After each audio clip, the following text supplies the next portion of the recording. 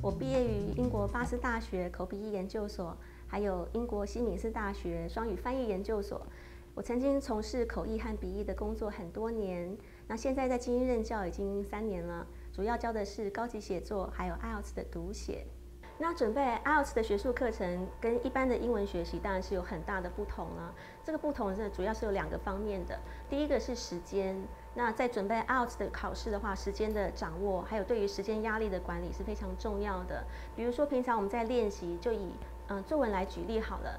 练习作文的时候呢，从一开始打草稿就要设定自己是多少时间，然后中间写作文的时间是多少，最后有没有时间可以再来做检查。如果平常练习就很有意识的把这个时间的观念把它放进去，那在正式考试的时候就有信心能够在这个时间的限制之内写出一个还不错的文章来。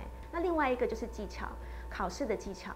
考试的技巧我们知道很重要，但是重点在哪里呢？当然就是对于考试的题型的熟悉。所以平常在练习的时候，一定要很有意识的去熟悉这些考试的题型，然后自己知道要依什么样的步骤跟什么样的方法来这些解这些题目。